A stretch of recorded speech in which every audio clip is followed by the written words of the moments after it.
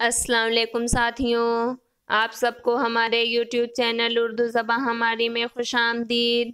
आज मैं आप लोगों के लिए काजी अब्दुल वदूद की तहकीक नगारी से मुतक़ कुछ अहम और मुमकिन सवाल तो जवाब लेकर हाजिर हुई हूँ, जो नेट जे आर एफ़ और दीगर मुकाबला जाती इम्तहान की तैयारी के लिए बहुत ही मुफीद और कारामद साबित होंगे। तो चलिए वीडियो शुरू करते हैं। हमारा पहला सवाल है, तहकीक का मौलम सानी किसे कहा जाता है? जवाब है, तहकीक का मौलम सानी काजी अब्दुल वदूद को कहा जाता है। अगला सवाल है, काजी अब्दुल वदूद कब और कहाँ पैदा हुए? जवाब है, काजी अब्दुल वदूद अठारह सौ छियानवे ईस्वी में बिहार में पैदा हुए। अगला सवाल है, काजी अब्दुल वदूद का इंतकाल कब और कहाँ हुआ? जवाब है, काजी अब्दुल वदूद का इंतकाल उन्नीस सौ चौरासी ईस्वी को पटना में हुआ। अगला सवाल है, काजी अब्दुल वदूद के वालिद का क्या नाम था? जवाब है, काजी अब्दुल वदूद के वालिद का नाम काजी अब्दुल वहीद था। काजी अब्दुल वहीद जो है मौलाना अहमद रज़ा अलह रहमतुल्लाह के ख़ास अदारतमंदों में शामिल थे। अगला सवाल है, काजी अब्दुल वदूद इंग्लिस्तान कब गए थे? जवाब है, काजी अब्दुल वदूद इंग्लिस्तान उन्नीस सौ तेईस ईस्वी में गए थे, जहाँ से उन्होंने माशियात में आला तालीम हासिल करने के बाद बैरिस्ट्री पास की थी।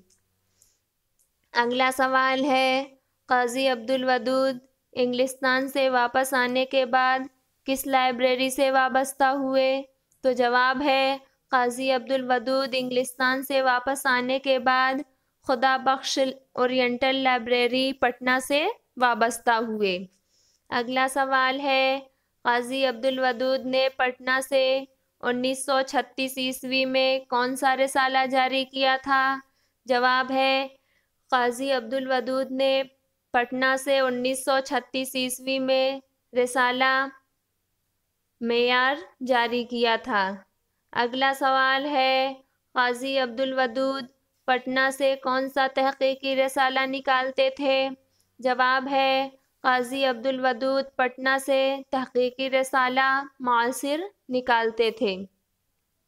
अगला सवाल है, किस महक़ ने गालिब से मुतलक चौंका देने वाले हक़ पेश किए हैं।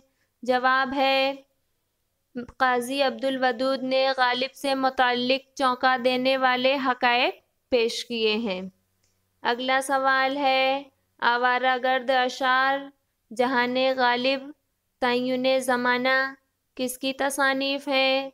जवाब है आवारा गर्द अशार, जहान गालिब तयन ज़माना, ये तवील मजामी काजी अब्दुल वदूद के हैं। अगला सवाल है, काजी अब्दुल वदूद के तबसरों के मजमू के नाम बताइए। जवाब है, काजी अब्दुल वदूद के तबसरों के मजमू के नाम उश्तरो सोज़न और अयारिस्तान है। अगला सवाल है, अयारिस्तान में कितनी किताबों पर तबसरे शामिल हैं? जवाब है अयारिस्तान में तीन किताबों पर तबसरे शामिल हैं। वो तीनों कौन कौन से हैं? तो वो ये हैं, दीवान फ़ायज़ मुरतबा मसूद मसूद हसन रिजवी, दूसरी मुरक्का शोरा मुरतबा राम बाबू सक्सेना, तीसरी जो है, मीर तकी मीर हयात और शायरी तालीफ़ ख्वाजा अहमद फ़ारूकी। ये तीनों जो हैं अयारिस्तान में शामिल हैं।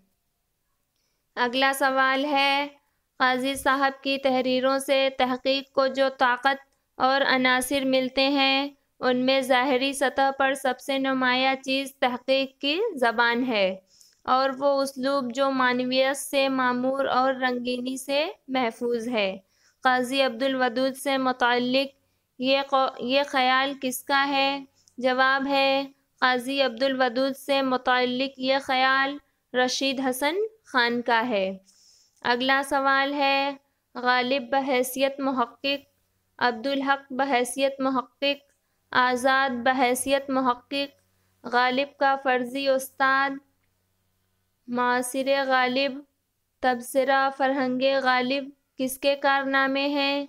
जवाब है, गालिब बहसीत महक़ अब्दुल अब्दुल हक बहसीत महक़ आज़ाद बहसीत महक़ गालिब का फ़र्ज़ी उस्ताद, मासिर गालिब, तबसरा फ़रहंग गालिब, ये कारनामे काजी अब्दुल वदूद के हैं। अगला सवाल है, उश्तरो सोज़न में कितनी किताबों पर तबसरे शामिल हैं? जवाब है, उश्तरो सोज़न में दो किताबों पर तबसरे शामिल हैं। वो दो किताबें कौन कौन सी हैं? तो वो ये हैं। उमद नतीजा यानी तस्कर सरूर मुरतबा फ़ारूक़ी, दूसरी जो है, शाद की कहानी, शाद की ज़बानी। उस्तरो सोज़न में इन दो किताबों पर तबसरे शामिल हैं। अगला सवाल है, दीवान जोशिश, दीवान रज़ा, क़तात रज़ा तस्करा इबन तूफ़ान, क़ात बुरहान तस्करा मसरत अफ़ज़ा, क़तात दिलदार, किसने मुरतब किया? जवाब है, दीवान जोशिश, दीवान रज़ा, क़तात रज़ा तस्करा इबन तूफ़ान, क़ात बुरहान तस्करा मसरत अफ़ज़ा, क़तात दिलदार, इसके मुरतब इन किताबों के मुरतब जो हैं, काजी अब्दुल वदूद हैं। अगला सवाल है काजी साहब ने बहुत से नए माखज़ का उस वक्त पता दिया जब उनका इल्म अक्सर लोगों को नहीं था। उनकी तहरीरें, उनकी वसत मताल की शाहिद आदिल हैं। कम ऐसे माखज़ होंगे जो उनके नज़र से न गुज़रे होंगे। काजी साहब से मुतल ये ख़्याल किसका है? जवाब है, काजी साहब से मुतल ये ख़्याल रशीद हसन ख़ान का है। मज़ीद नई वीडियोस देखने के लिए हमारे चैनल उर्दू सबा हमारी को सब्सक्राइब करें और वीडियोस को लाइक और शेयर करना ना भूलें। बहुत शुक्रिया।